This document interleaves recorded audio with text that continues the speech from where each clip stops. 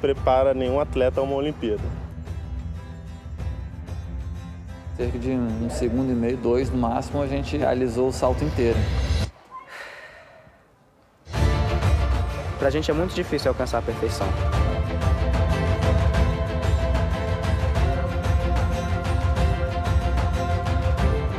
É a nota de 0 a 10 e o 10 é, é o perfeito, né? O objetivo de todo mundo.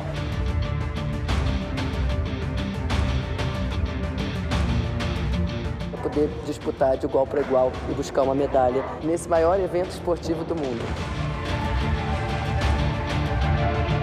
Sou Hugo Parisi, atleta de saltos ornamentais, integro a seleção brasileira há mais de 10 anos. Sou Jackson Rondinelli, tenho 21 anos. Eu estava treinando sincronizado com o Hugo. Dentro lá do ginásio tem a piscina de espuma, só que as bordas são de concreto. E a gente estava fazendo um duplo de frente, só que eu saí muito perto da borda da piscina de espuma. Aí eu rodei um mortal e meio e bati a testa na beira da piscina de espuma e acabei fraturando aí a cabeça. Hugo vem uma dor forte, crônica, né, nas costas, e isso faz com que ele não consiga, às vezes, treinar de uma forma eficaz, prejudica o treinamento. Meu nome é Isaac Souza, eu tenho 16 anos de idade e pratico saltos ornamentais. Ele está realizando todos os saltos possíveis que, que se encaixariam em uma possível vaga sincronizada em caso que ele possa vir a substituir um atleta ou outro.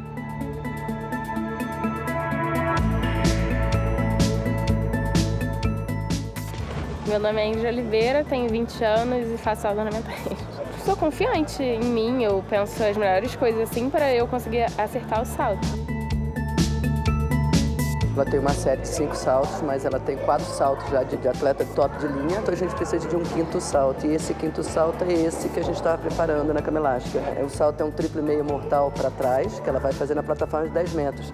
Meu nome é Giovana Pedroso, eu tenho 17 anos, eu vou estar participando do maior evento esportivo do mundo e a minha maior conquista foi ano passado no Pan-Americano, quando eu consegui a medalha de prata no sincronizado de 10 metros com a Ingrid. A gente fez a escolha da dupla pelo fato delas terem afinidade. Agora a gente está brigada e aí...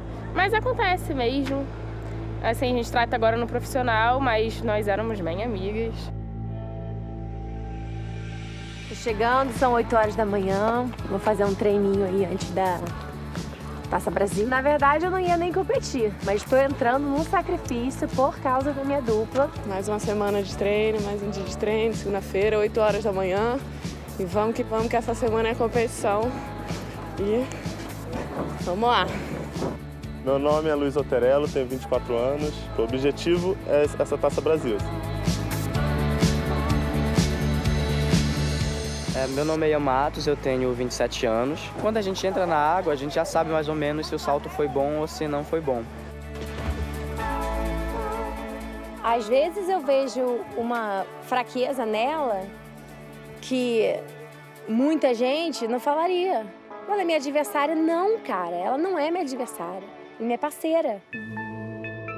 Eu, quando eu trabalho Tami, Juliana e Luiz e Ian, é, é, um só, eu tenho que ver, eu vejo dois atletas, obviamente. Quando eu vou olhar um salto, eu vou olhar assim, um sai um pouquinho mais na frente, outro sai um pouquinho mais em cima. Eu coloco a posição que eles estão, a maneira que eles estão, sem nunca julgar um ou outro.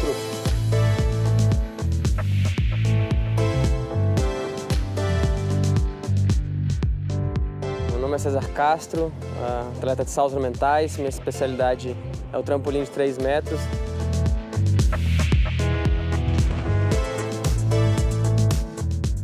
Ele é um atleta muito elegante, né? Apesar do, do salto ser super difícil, de você ter que estar tá fazendo a sua força máxima ali, ele consegue fazer todo esse esforço e passar uma leveza, passar uma elegância, né? Então são poucos atletas que têm essa essa característica que ele tem. Quando eu saí de Brasília em 2000, no final de 2008, a minha ideia era ficar no Rio de Janeiro, me preparando até 2016. Esse era o objetivo inicial, mas aí aconteceu do parque aquático fechar e naquele momento eu tive algumas opções, algumas possibilidades e naquele momento a Universidade da Geórgia, lá em Atlanta, foi a melhor delas e, eu, e hoje eu tenho certeza que foi a melhor decisão.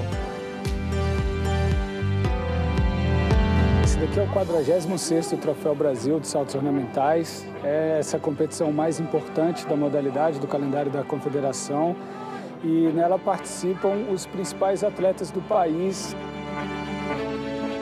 A gente começa julgando desde a corrida, né, a plasticidade que ele tem na corrida, no pulo para a ponta, a altura que ele atinge, a forma com que ele executa no ar o salto e a entrada.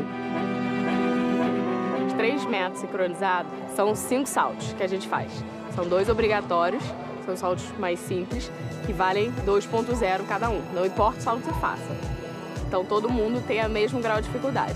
Essa competição aqui é mais para minha avaliação bioquímica, então eu fugi um pouco do protocolo que eu faço normalmente. Eu não faria um exame bioquímico em competição importante, mas como essa não tinha a preocupação de vaga olímpica nem nada, então eu pude fazer isso. Seria muita injustiça uma dupla que é campeã desde 2007 até hoje perder a vaga.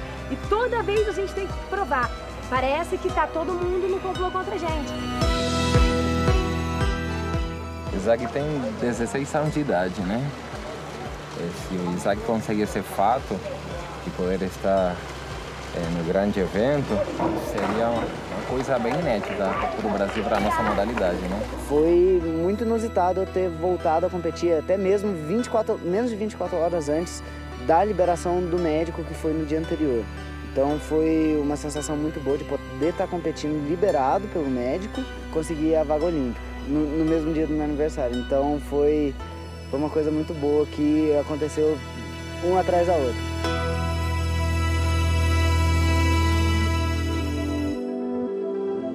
Depois da Copa do Mundo, que foi a última eliminatória, a Ingrid ficou em 24 né? E entravam da Copa do Mundo as 18 melhores. De 19 em diante, a gente aguarda, ficou na guarda da repescagem, tanto ela como o mundo inteiro em outras as provas.